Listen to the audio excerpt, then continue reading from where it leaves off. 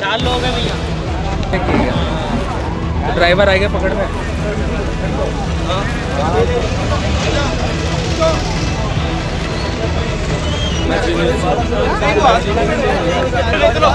पहले इलाज करो इसका पहले भेजो उसको दस दस ही मिनट।